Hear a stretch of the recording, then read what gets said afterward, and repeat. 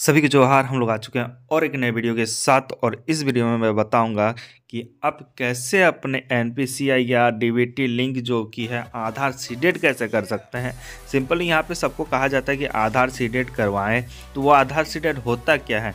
उसको करना कैसे है? तो ये सिंपली आपको आगे चल के वीडियो में पूरा बताऊँगा। तो बिना स्किप किए देखें और यहाँ पे दो से तीन प्रोसेस में बताऊँगा जिससे आप आराम से अपने आधार सीडेट कर सकते हैं, जो कि अपने बैंक अकाउंट से आधार को लिंक करवा सकते हैं। ये एक नॉर्मल लिंक नहीं होता, ये डीबीटी लिंक होता है जिसमें कि डायरेक्ट बेनिफिट ट्रांसफ़र ये आपको सरकार की तरफ़ से दिया जाता है, जो कि आप योजना का लाभ उठाते हैं, जैसे कि स्कॉलरशिप या तो सरकारी कोई योजना, जैसे पीएम किसान वगैरह, या फिर आपका लेबर कार्ड का पेमेंट। तो ये सारा जो कि है, वो डीबीटी के थ्रू ट्रांसफ़र किया जाता है। तो सिंपली आपको कहीं भी ना कहीं आप फंस चुके होंगे, तभी इस वीडियो में आए हैं कि आपको डीबीटी लिंक कैसे करना है, वो आपको जानना है। तो सिंपली इस वीडियो में बने रहें और चैनल पर पहली बार आए तो चैनल को सब्सक्राइब कर दीजिए, क्योंकि इस चैनल में आपको टेक के रिलेटेड और सरकारी योजना के रिलेटेड आपको सारी जानकारियाँ सबसे पहले मिलेगी। तो चलिए आगे बढ़ते हैं और देखते हैं कि क्या कुछ करना पड़ेगा। तो सबसे पहले ये जान ले कि आधार सीडेड होता क्या है।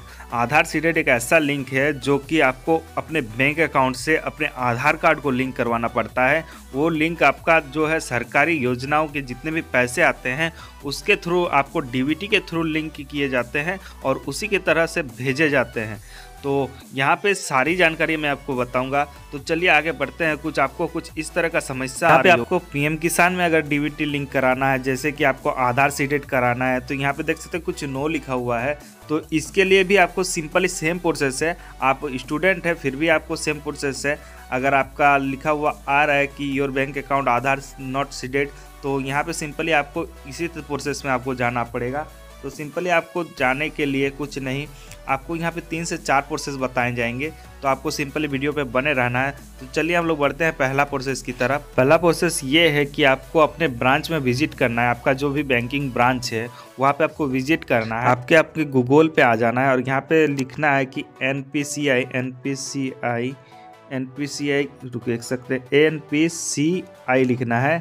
और यहाँ पे लिंकिंग फ्रॉम और यहाँ पे लिंकिंग फॉर्म लिखने के बाद उसको सर्च करना है और उसके बाद देखते हैं डायरेक्ट बेनिफिट ट्रांसफ़र के ओर से आधार सीडेड प्रोसेस का पीडीएफ फॉर्म आ गया है।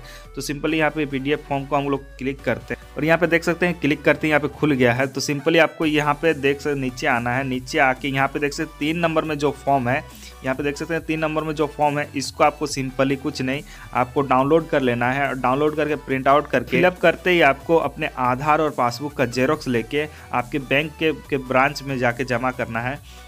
और जमा करते कुछ आपको 30 दिन तक या वेट करना है। वेट करते कुछ फिर जब आधार में पिन से आप चेक करेंगे तो आपको एक्टिवेट शो करेगा। तो सिंपली आपका काम यहाँ से हो जाएगा।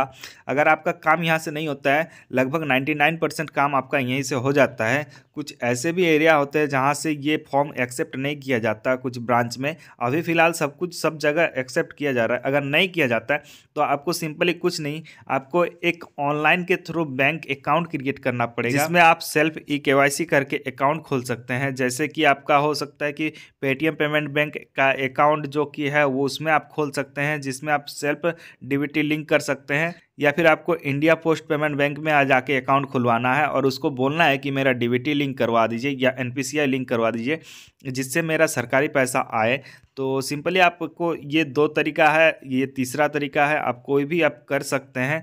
आप सिंपली आपको जो अच्छा लगे वो तरीका से आप कीजिए ताकि आपका डीबीटी लिंक हो जाए, जल्द से जल्द आपको पैसा मिले। इसी तरह के वीडियो के लिए चैनल को सब्सक्राइब कर दीजिए और वीडियो को लाइक कर दीजिए। अगर कुछ हेल्पफुल आपको इन्फॉर्मेशन मिली है तो आप लाइक कर दीजिए और फिर मिलते हैं और एक नए वीडियो के साथ। जय हिंद बंद मातरम।